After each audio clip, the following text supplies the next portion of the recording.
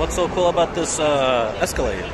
So basically, we are showcasing our Snapdragon chipset and running multiple, you know, tablet screens, operating systems, cameras, uh, all in one.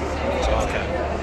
Gotcha, gotcha, gotcha. Yeah. Uh, so it brings more of an infotainment-based experience versus the more autonomous stuff would be in the normal. Gotcha. So this is basically every tablet has a Snapdragon chip in it, basically. Like everything that's like that one, this one, front, everyone would have a Snapdragon chip.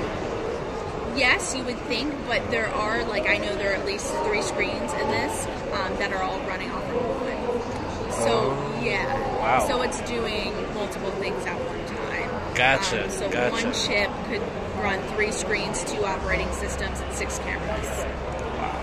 Yes. That's cool. yeah. So feel free to take a look inside.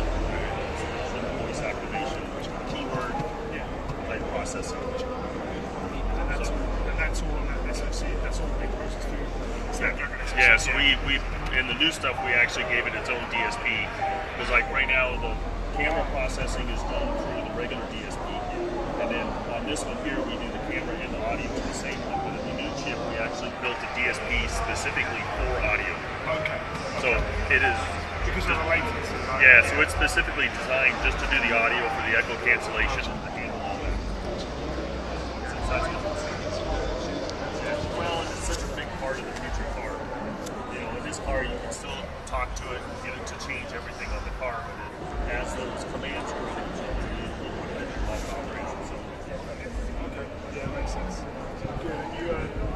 showed to the telematics solutions there. So you've seen you announce on one of the, uh, V3s for that. Yeah, the, uh, so I have the exit here, but I'm that was training. yeah.